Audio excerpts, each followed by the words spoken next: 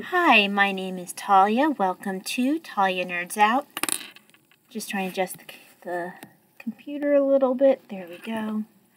Um, hopefully, third time will be the charm for this. The first time I recorded this video, I didn't know until afterwards that my computer randomly decided not to recognize either my um, in computer microphone or my in computer speakers. I had to completely restart the computer to have it even recognize that those things existed. But when I went back to look at the video, of course, because the speaker was not recognized when I had recorded my 45 minute video, it did not record with sound. I tried again using a an a different camera that I use for my knitting podcast and a tripod in the room where I usually do my knitting podcasts.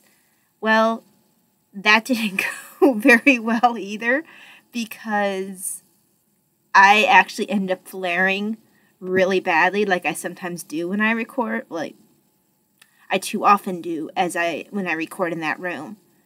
So that video I will not be showing to you unless this one does not turn out well because no one needs if I can avoid it, I don't want to have yet another video of me flaring out there. There's more than enough of those on my knitting podcast. We don't need them on BookTube as well. So, hopefully, third time is the charm. And it's if it sounds at all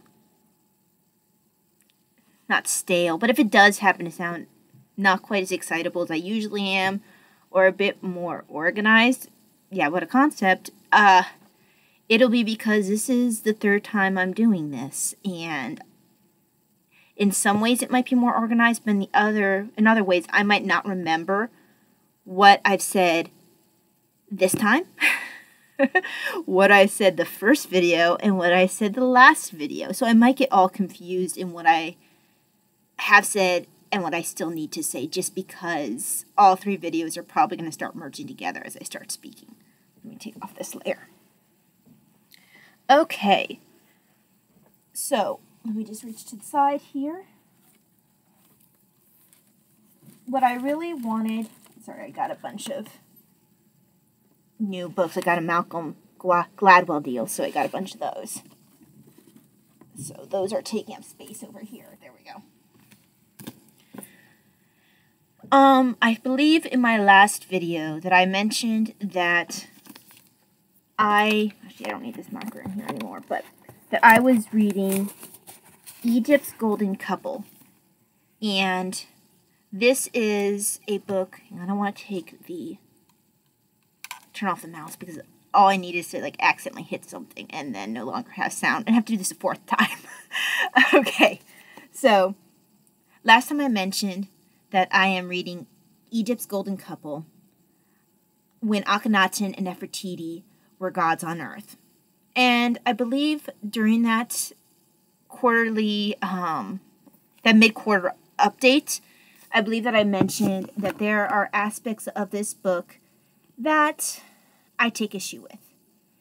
Those issues that bothered me only bothered me more and more as I continued to read. I'm not sure if I mentioned it last time. I'm pretty sure I did, but this book is authored by a husband wife team. She teaches art history. Um, and she does curate a major mu- museum exhibit on Egyptian revival art and design. Now, he, so her name is Colleen Darnell, his name is John Darnell, and he, uh, he is professor of Egyptology and has also had his expeditions to Egypt covered in the New York Times.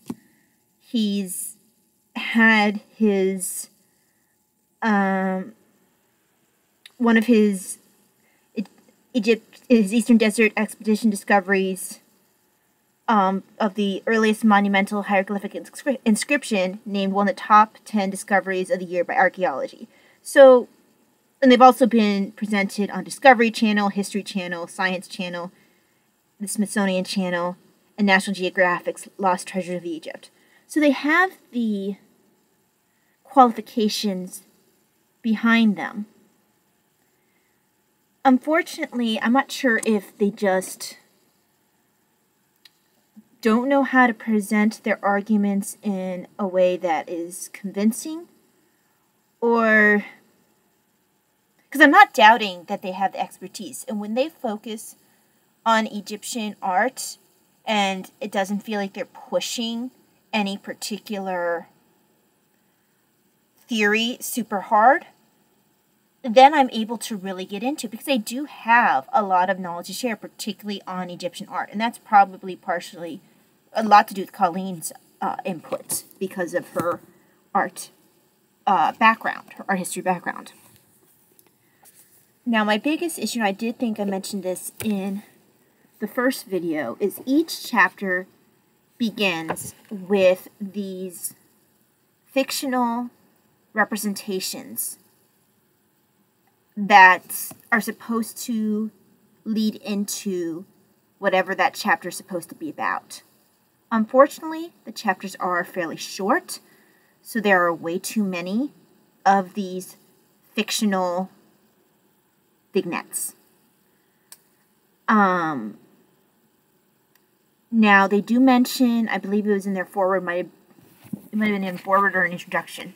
Um, regardless, it was it was mentioned at some point early on in the book that these fictional pieces are uh, inspired by pieces of art found on pottery and tombs, etc. And I don't doubt that the germ of the idea came from something based in history. My problem was that, first of all, it was a bit jarring to be going from reading something that was purely intended to be this is the facts, you know, this is, you know, these are, these are evidence that we've got to show. You know, things are very much based or supposed to be based in what actually is, or what is thought to actually be. But these fictional accounts were a very different tone. They definitely felt like historical fiction, which is basically what they were, what they are. And I didn't, I don't want that in my history books. That's not what I thought I was going to be getting. I thought I was going to be getting a purely history book. And if it had been like, oh, let me just have this once to illustrate a point, but that's not the way it was. It was every chapter. And there are, let's see how many chapters there are. There are 31 chapters, and I can't remember if there's one uh, vignette for the epilogue as well. So that's 31 to 32 short stories that weren't I mean, they were. Oh, I'm sorry. There was one for the prologue too. I forgot about that. So okay, so I'm sorry. Uh, 31 to 33 short stories. And the short stories, I mean, they were at least some of them were longer than others. They could be anywhere from a page, I want to say up to a page and a half. I don't think they went longer than that. If they did, it was only a little bit longer than that. Um, but this was quite frequent in the book, and the chapters weren't terribly long. This book, if you don't include, if you stop when the actual uh, book finishes, you don't go into the acknowledgments, you don't go into, you know, what everything, like the footnotes, all that uh, this book was 286 pages of pure content of the um, of the meat of the book, what most people are going to read. So to have that many chapters, you know, that many short stories in that space, I thought was a bit excessive, and I thought it it felt like padding that could have been used better.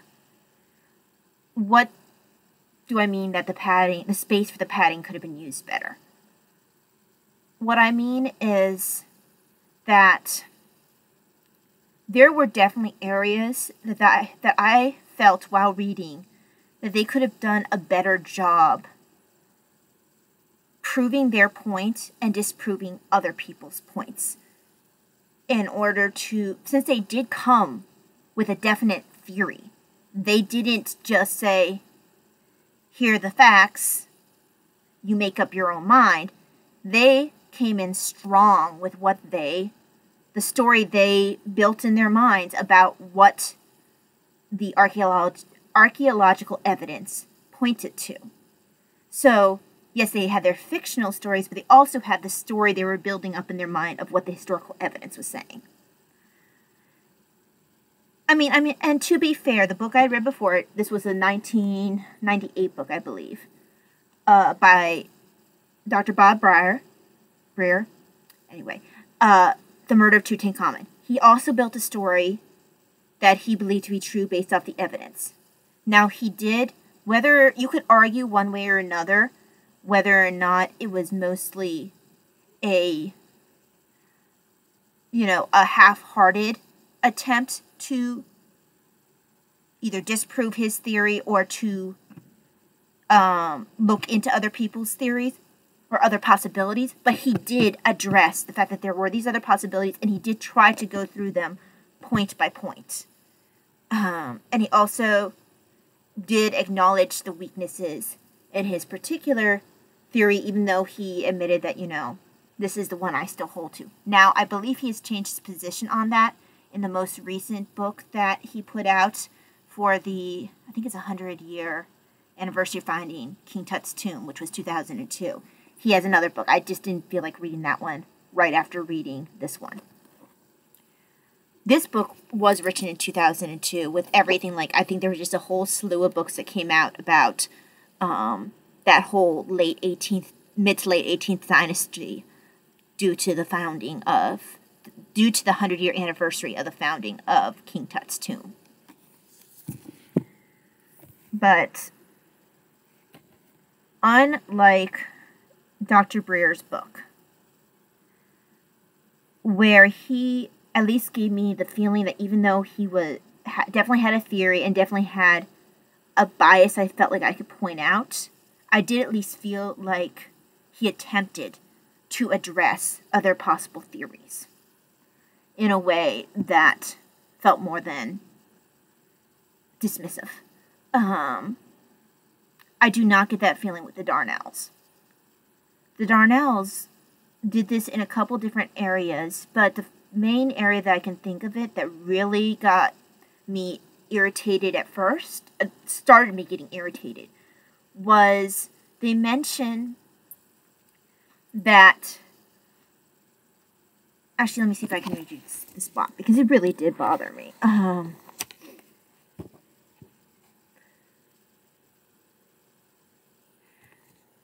so, um, it's a bit of a longer section. Okay, I don't want to read the whole section. um, basically, hold on, there we go. Let me go ahead and put my, let me make sure I still have sound. Because that would be distressing if I don't. Okay, I still have sound. Good. Let me go ahead and make sure that my screen doesn't shut off because sometimes it just randomly goes out and I don't understand why. Um, Okay, there we go. That should keep it from going out. Okay, anyway, back to what I was saying. I'm not going to read you the full thing because it's actually multiple, multiple paragraphs long, and I thought it was shorter than it was. I'll just summarize. So they're talking about the artwork representing um, the Amarna period. Um, so that is the elongated heads, the spindly bodies, the gut, the widened hips, everything that we associate with the art of Akhenaten and his period. Now, there was, they did mention several of the theories.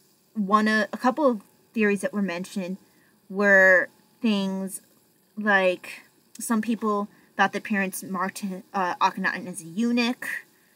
Uh, some thought that there might be, and this is one of the theories that Dr. Brier mentioned, was that um, Akhenaten might have had Marfan syndrome, which, if you did go down that path, which is something I mentioned in my video, with Marfan syndrome being a genetic condition, if there was intermarrying like there seemed to there was in that family. I mean, we see it with King Tut and his wife Moon. There were brother sister marriages. So if there was a brother sister marriage between Akhenaten and Nefertiti, or even cousins, you could see potentially everyone in that family having that gene. Or something that I believe I discussed in that video as well, it could be that he, only he had the gene and maybe a couple of the other kids, but he felt so insecure about it that he it became a hallmark of his period that that was the way the artwork looked. Everyone looked like that because he wanted to normalize it. So that was a theory I had thought had some benefit to it, um, as did Dr. Brier.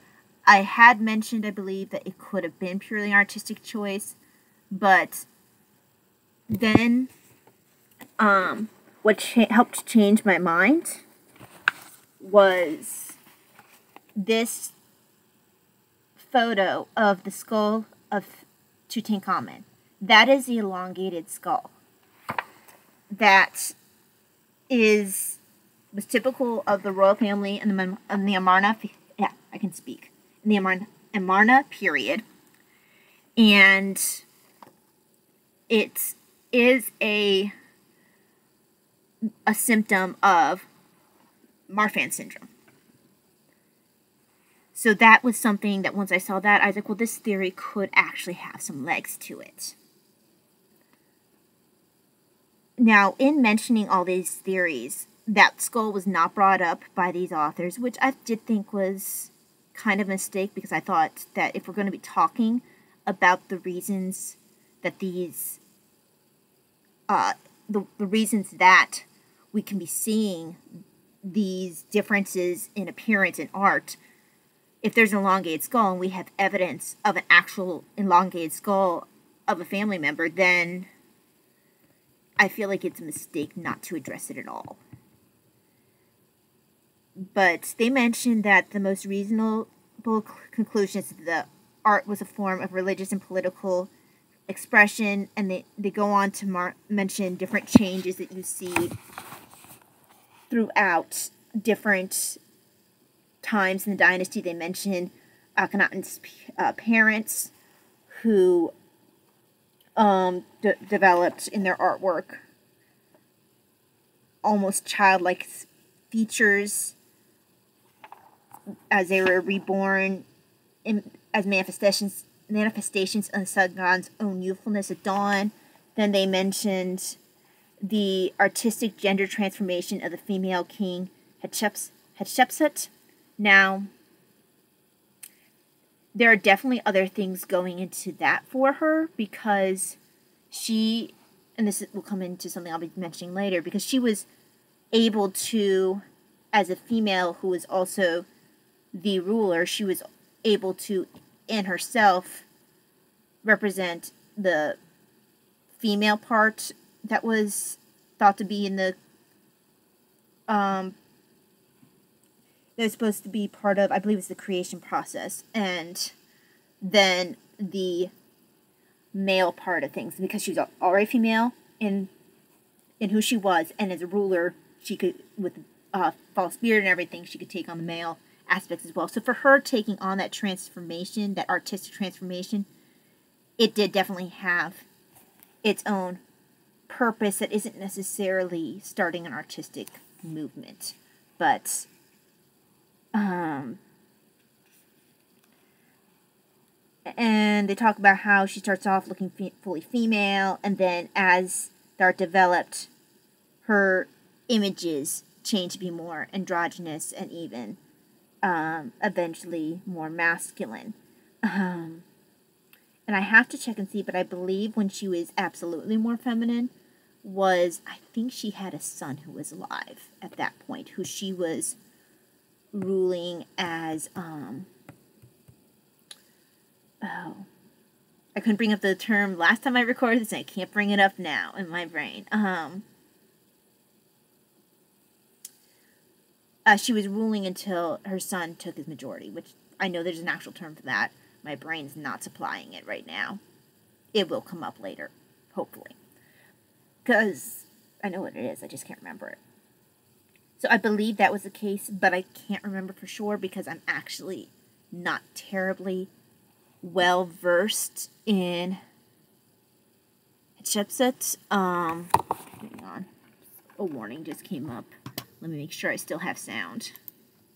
I'm now like completely freaked out about because I don't want to lose video. I don't want to lose this video just like I lost the last one. The last, the first one, and then the last one wasn't so great. Anyway, so I had to check and see because I'm not completely sure. I thought that that, that she was um, ruling with her son in the first part of her reign. So she had someone taking that male aspect. Um, yeah, there it is. Co-ruler Tuthmosis, who was then a teenager. So I'm right. At the beginning, um, well, I guess at the end that he was. I'd have to look more into this. Um, I, I would think as she took more of a different image that did maybe represent more the power that she had. I don't know. I'm not terribly well versed in her um, stuff, but hers definitely had a political thing going on there, and I think that's their argument with um, Akhenaten and Nefertiti. The problem is, I wouldn't necessarily take issue with the argument because yes, you can put point back at Hatshepsut at the fact that she used a more androgynous appearance to emphasize that she um had em- emphasize the fact that she is the ruler to emphasize just different political things as an Egyptian ruler that you needed. Um, and that his Akhenaten's parents before him used art to show a certain political message, religious message that they were trying to go, bring across. I don't have issue with the theory. What I have issue with, what I take issue with, is the way that they choose to address other theories. So the Darnells present what their theory is based off of other pharaohs' artwork, which is completely fair. Um, but then they say the artistic transformations of Hatshepsut and Amenhotep III are indisputable evidence that Akhenaten and Nefertiti's physical metamorphoses were not the result of pathology. I have a problem with that. Because with that one word, indisputable, they don't ever again address anyone else's theories in regards to Akhenaten's appearance. I'm sorry. You had a, a good a theory that did have something you know, that you could work with, that you could argue for. But it doesn't make your theory look any better to claim it's indisputable and then just not even attempt to disprove the other theories. So I would have liked to see them address the skull of Tutankhamun. Why was that skull elongated? Now, if we didn't have that skull, I would have perhaps, well, I would still wouldn't have liked the word indisputable because unless you are actually looking at Tutankhamun, at an Akhenaten and a Nefertiti in the flesh, you can't necessarily say, you know, or even look at their, if there's nothing, if you're looking at their remains, or even looking at them in the flesh, and if you can say, okay, based off of them physically, there is no evidence of this, so it's indisputable. There's you know nothing to point towards this. Okay, Even then, I don't like the term, you know, of you indisputable because there's always room for dispute unless you can 100% prove that someone else's theory is wrong. And then I just think that it's only professional. Uh, I don't know. It only. I think it just is. Um.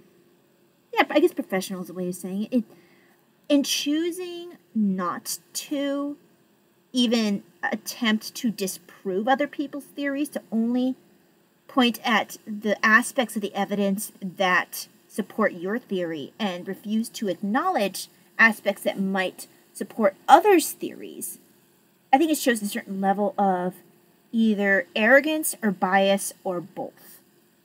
Because you it seems like you've just deemed that your evidence, your theory is better than the theory and or evidence that the other um, scholars had. And therefore you know don't even look at those other theories. This one's indisputable. So i i didn't like that. That got my back up and not just because it was a theory that i liked or anything like that i just it's it's it's intellectually lazy um in my opinion um maybe they're just bad at writing or providing. I don't know. I, I feel like they should be able to do that. I I will go more into something that addresses this particular mode of doing things later on. But they do this kind of thing more than once, where they will make statements, sweeping statements, and they won't put a whole lot of effort into proving those sweeping statements. Or they will provide in the footnotes that I don't know that everyone reads footnotes. I do. But the average reader, and I'm assuming that you're, they were aiming this at the average reader, because I don't believe that most readers who are anticipating reading a um, more scholarly work, one that's aimed toward the, you know, not the general population, this book felt like it was aimed at, you know, someone who might have watched a documentary on Discovery Channel or the History Channel and been like, huh, that Akhenaten guy kind of sounds cool. I've heard Nefertiti before. Let me go and pick up a book about them. And that's what the stories at the beginning of each chapter kind of made me feel like that was the audience that they were trying to appeal to. So I felt it was even more important to go into depth in your main body of text to prove or disprove your theories. Now, I don't think they ever did. I'm looking at the first cha- at the first chapter for that, just because I want to make sure that I am pulling out my receipts. Um, so that would have been. Actually, they don't have any footnotes for that. So no footnotes for the section I have issue with in that part. But for another part where I took issue, they did have a footnote. And I will explain the situation and then go into the footnote. But the fact that they only tried to explain themselves more in the footnote kind of bothered me because it that's not where the, majority of your readers are going. And I just feel like it's looks better. It's more professional as a historical, as a historian, as a as an Egyptologist to support your theories within the body of your text when you know you're dealing with people who will not necessarily be reading the footnotes because the that audience might be more inclined just to take you at your word because you said something which yeah i kind of take issue with not providing that information where they would more likely access it. Anyway, so what's my issue? In, my next issue with this book. Like I said, I, or maybe I didn't say it. Once they just focus on the artwork instead of feeling they were pushing their personal theory on Akhenaten and what the art said about him, physically, I actually started getting more interested. Even though I got it irritated every time the fictional pieces got came up. I was getting interested in what they had to say about artwork of the time period because it was interesting. They definitely have an enthusiasm and a knowledge in this area. But my next issue came when they were talking about the daughters of um, Akhenaten. And the what daughters in particular they were speaking of were um, hang on, um, Meritaten and Ankhesenpaaten, who eventually became Ankhesenamun and Mer- and was a uh, first wife, the great wife, the the wife of Tutankhamun. Actually, I think she was the only wife of Tutankhamun, as far as we know. But one of the theories goes as such that there. Let me see if I can find. Um,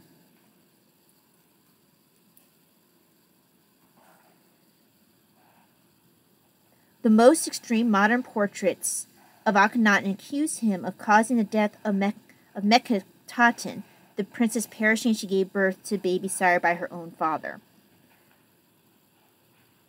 But nowhere are the daughters buried in the royal tomb given the title king's wife. And they said the evidence most cited for Akhenaten's sexual relations with his own daughters are reliefs that show Meritaten followed by a girl named Meritaten Tesheret. Meritaten the Little Jr., with corresponding reliefs depicting Ankhesenpaaten and a child, Ankhesenpaaten the Little Jr. The father of these junior princesses, according to some scholars, could only be Akhenaten. Now, the next paragraph goes that these princesses in the company of their namesake progeny are surprising, but they, they, the authors say, look at where you find this. You find this, and this is what the next paragraph after that says. You find this in the sunshade um, of Kiya, which was a second wife or concubine, I'm not sure if we know which she was, of um, Akhenaten. Now, Dr. Breer, wrong book, but it's on my lap. Dr. Breer had the theory that Kiya was actually Tutankhamun's mother. Um, the Darnells don't believe that. I this isn't particularly important to this discussion, but I just wanted to mention that uh, other theories about Kiya in particular. But um, there was something called the Sunshade of Kiya, and where her image and the image of apparently she had a daughter named Baketaten. At some point, their images were like scratched out, removed, and replaced by that of um, Ankhesenpaaten or Meritaten, sometimes Nefertiti, but it sounded like it was mostly the two with the two daughters. And then the young daughter Baketaten was replaced by these junior uh, Ankhesenpaaten and Meritaten. Now that took so from what I first told you about the beginning about the uh, the theory was about one, two, three, four, four and a half paragraphs that everything I just said was in those four and a half paragraphs. The next paragraph bugged me. The sculptors who removed the name of Kiya replaced her name with either that of Ankhesenpaaten or Meritaten, like I just said.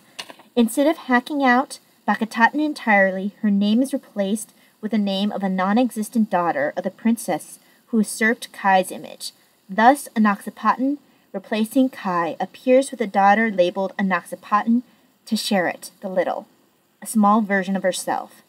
The evidence of Anaxa of Anaxatin's I'm sorry, I'm reading that wrong, of Akhenaten's sexual predations with his own daughters vanishes as the junior princesses are revealed to be artistic phantoms. Do you see what my problem is with this? I will be elucidating on this in case you were curious. I know you weren't, but you know. Uh, I too obviously like the sound of my own voice, or the sound of my own theories. Anyhow, my problem with this is not the theory. Again, I don't necessarily have an issue with the fact that they have a theory. My issue is the fact that they demonstrate really poor in the body of their work. They are horrible at proving their theories or making their theories even seem reasonable. I mean, where do you get from Tisheret means junior little princess to get going like these are fan- just phantoms. That's just it. They're phantoms. I didn't have to, you know, there's nothing else to point to the fact that they're phantoms, but they're just phantoms. Got that? Cool. You gotta, that, that's just not enough. It just really seemed like this huge jump. Jump. It, I, what I would have liked to have heard were multiple things. First of all, what, where did this theory even come from? Like, does, is there just like they, sh- they they made a point of at least they made a point of showing evidence of other changes in artistic renderings with Hatshepsut, with um, Akhenaten's parents. Um, at least they made the effort of that with the where I had problem in the, earlier in the book where they just didn't bother disproving anyone else's theories. But at least they had a line of evidence. They had historical um, precedents to point to prior to the period of time that their theory was. If I would have liked to have seen them point to that here. Was there any other precedents of there being artistic phantoms of um, non existent daughters? That just felt a bit where did this come from? So I looked in the footnotes, where, like I said, I don't think a vast majority of your um, casual reader of a history book will necessarily look. But I went and I looked in the footnotes, and they referenced one work. It was written by a Spanish scholar. It's so I went and I actually looked up the work and his name and everything. It's only in Spanish, and it's not all about. First of all, I couldn't access it, but it was a very small part of the work. Um, from everything that I gathered from what I looked into, the the work was about um, um, Akhenaten. It wasn't about this particular theory. It was about Akhenaten as a whole, and this theory was a small part of that general work. Uh, let's see. This. Uh, let me see if I can find the. Sorry, I'm trying to find so I can go through with you guys what their source was. Okay, so they have this under the section about their biographic essays and they said that Ankhesenpaaten, and Meritaten Tisheret are phantom daughters. See Laborie, and the work is Akhenaten, and it says 314 to 22. So the whole work is called Akhenaten. It's in Spanish, and that's the only source. I could find nothing else. I can't access the work, but I'm sorry, even if you have another source, explain why that source came to that point not everyone is going to go down the rabbit hole and follow your source to make it make sense because the way they presented it didn't make sense. So I just, again, there's a couple instances where I just feel like they either just expect the reader to believe them, they're just too biased to see that they're not really making things clear, or they're just too arrogant. I can't decide which it is maybe it's I'm I'm gonna go on the side of like kindness, I guess, and be like they're biased and just don't see that this is not something that makes follows through for everyone else because they did not make it clear why this was such compelling evidence for them.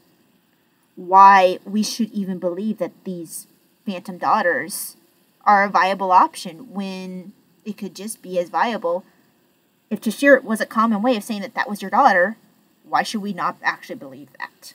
Especially since I believe I read somewhere else that there was a case of Amenhotep, I'm probably saying that wrong, of Akhenaten's father having had daughter wives at some point. So if his father had daughter wives, and whether or not that's actually a appropriate understanding of whether or not this is mis- mistranslation, it was, I believe, somewhere in this work stated. I know I've read somewhere that there there was. I want to say it was here, but there's at least been a theory of there being daughter wives for Akhenaten's father. But if that's the case, then it's not outside the realm of possibility for there to be the same for Akhenaten. If, you know, if you are going off of the whole thing that to share it can mean that's that person's child. So yeah, this was something I wish that they had elucidated, they had explained more, that they'd actually taken the effort to not just be like, just believe us, this is Phantom Daughters. You know, don't don't look at any other theories. We're not going to bother disproving those really.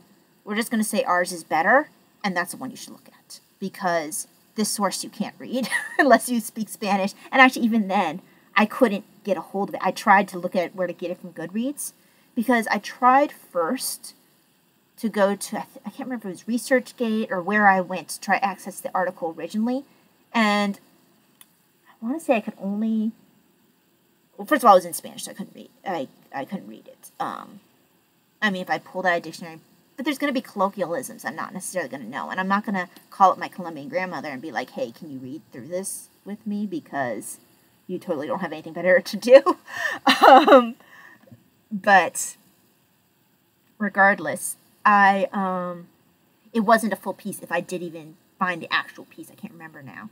Um, it would have only been an abstract. I know as much as I didn't find the full piece. If I found anything, was the abstract, which, um, if you're not familiar with uh, scientific um, articles, a lot of times there will be an abstract at the beginning um, or an abstract that is released that will be like, okay, this is basically what we're talking about, and then you're supposed to click further to see the full article, where you actually see their um, how they came to their conclusion, what evidence they um, they pulled together to actually make them come to whatever conclusion they came to. That either this requires more study, this disproves whatever theory we came into the test with, or this proves what we came into the study with test with, or this brings up more questions. So that's what the bulk of the article that is not seen in the abstract shows. But if I was able to see anything, for was in Spanish, second of all, was an abstract. When I went to Goodreads to try to, because it looked like it was a book, not just a an article. I'm not sure if they were selling the article as a book, which I have seen journal articles sold that way because there's been a couple I wanted to read that I can't access because they're way too expensive um, when they're sold on Amazon. But Goodreads didn't have a link for me to go and find this.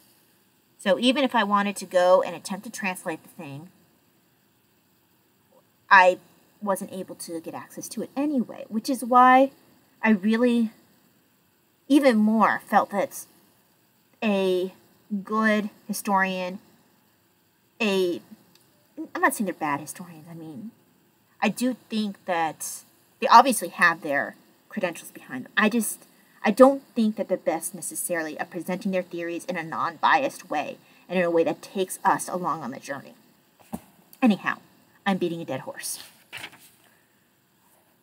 There's a couple other points where they say things and it feels like they just jump to a conclusion without necessarily going into it enough. They mention a theory that Meritaten was the pharaoh right before um, Tutankhamun, and they didn't really. For one thing, from what I gathered when I researched that, uh, apparently it is a fairly controversial view. Um, that's what I got from the little bit of research I was able to do, that it was fairly controversial. And I didn't feel like they went into enough uh, evidence about that. I felt like it was a little bit just they just kind of threw it out there and decided that was we're just gonna that's what it is. It's Meritaten. Now they did mention a few things that were interesting, which could point one way or another. I'm not sure that they made enough of a point that was Meritaten versus Nefertiti. Apparently, in female names, if you have a T in certain areas of the name, that points to more of a feminine person versus points to female versus male. So, um, but they, they did re- reference the fact that it could have been Nefertiti, but they um,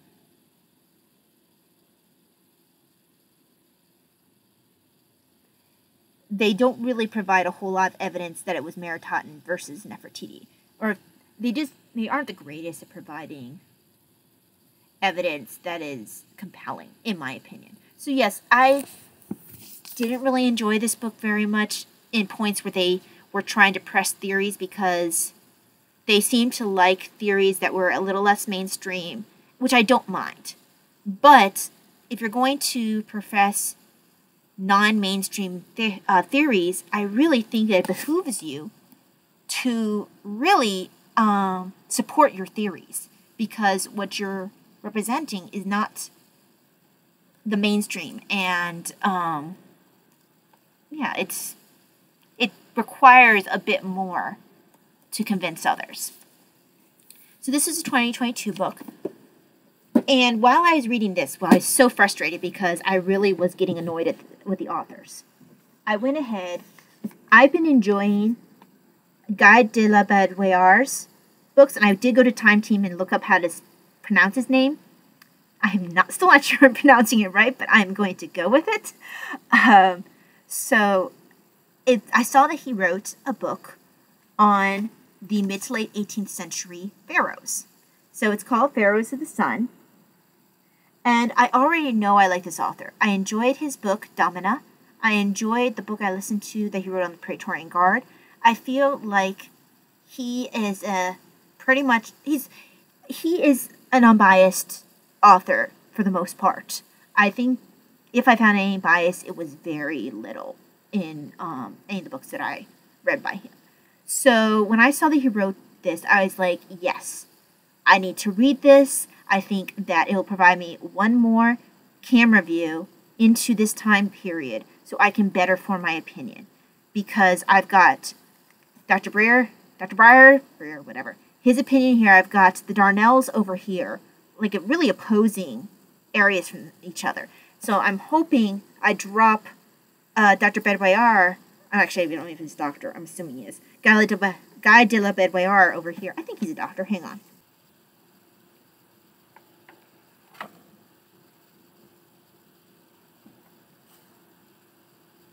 Okay, so he um, studied Egyptology as first part of his degree. Um, he also first part of his degree or his first degree? Let's see. As a part as part of his first degree. Um, what it mentions about him in the back is that he's written multiple books: uh, Gladius, the World of Roman Soldier, Domina, the Women Who Made the Imperial Rome, Praetorian, and The Real Lives of Roman Britain. I've got that one coming in. Um, he's well known to a wide audience because of 15 years he participated in Channel 4's archaeology series Time Team He's a fellow of the Society of Anti- Antiquaries and lives in Britain.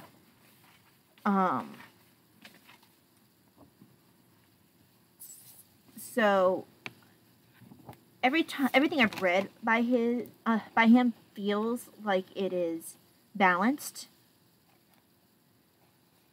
So I've started his right away. What he said, and this was something that I really appreciated, was that he emphasized that there is an issue with within um I'm trying to pull it up. Okay, here we go. Oh, this I want to bring this up because we're actually having a conversation about this right now in um in the Discord for the Historathon. And he has something saying Egyptian society was controlled by a collective cultural conspiracy, locked in a timeless and reassuring recycling of custom characterized by oppression and exploitation. There is no point in judging a Bronze Age state by modern standards. The inequality was normal for the period and taken for granted as such across the region. Monarchical power was absolute. Opposition and protests were virtually non existent because that way of life was ex- accepted as the price of security and stability. Um, the difference is that in Egypt, enough evidence exists for us to be able to see this happening in a chronological and historical framework at an early stage in development of modern nation.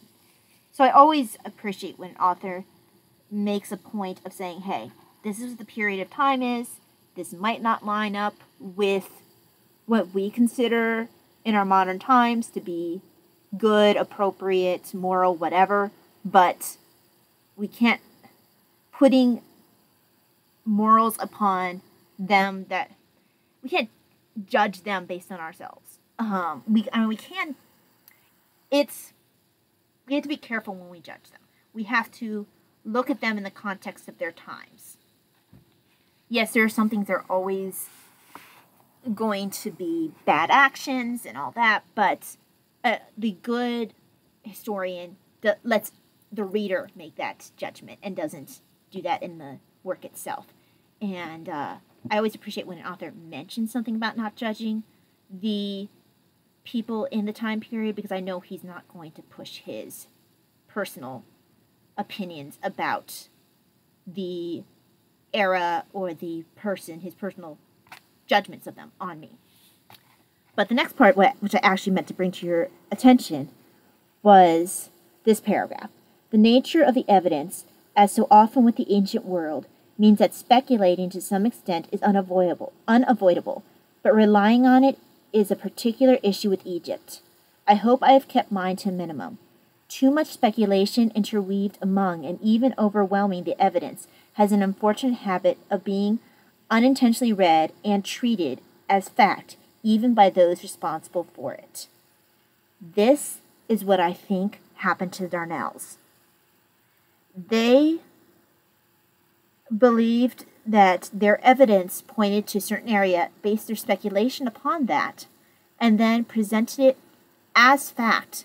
And I guess because they believed it to be fact, they didn't believe they needed to really prove that to be fact. So I appreciated that as well he made a couple of points I really enjoyed in his foreword. Now, I'm not, actually, I'm farther along than I thought. Um, he mentions different things. He he's the one who addressed the male female aspects that a ruler was expected to have associated with him, and with a male king, it wasn't an issue because he had a female queen, so that covered both of the aspects of ruling. Uh, but with a female king, because they didn't have the term queen the way we do, they um, didn't um, they didn't need to have necessarily another female. She could represent both. So I thought that was interesting. And I'm paraphrasing, but I thought that to be very interesting. Let's see um, if I could find.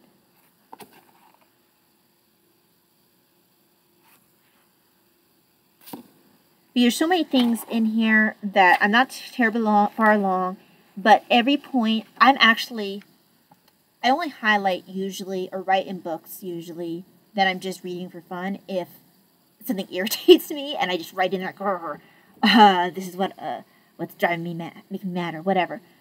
Kindle books I'll do a little bit more if something interests me. This book, I'm, I'm only 33 pages in plus the introduction. I've highlighted so many different things in here just because of the interesting things that he's bringing up.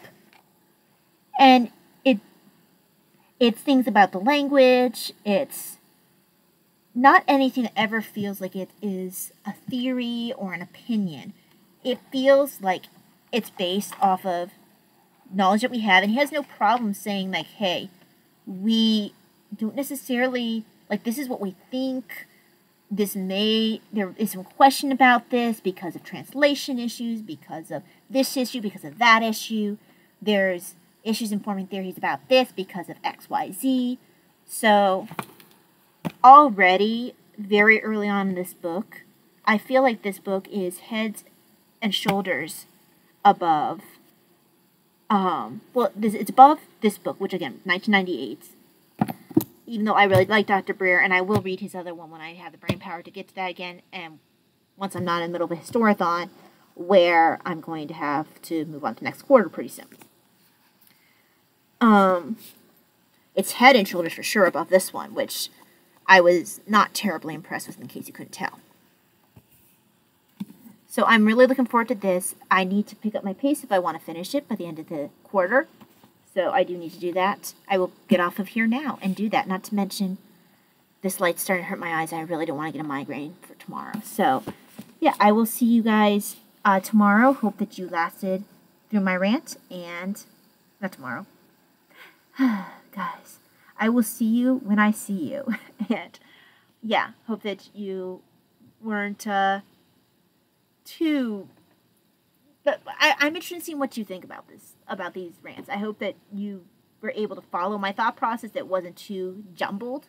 Um, and yeah, what are your theory? What are your feelings about how authors present their theories within historical works, particularly something as far away as antiquity, where there's even less evidence than during medieval times? So, what are your thoughts about that?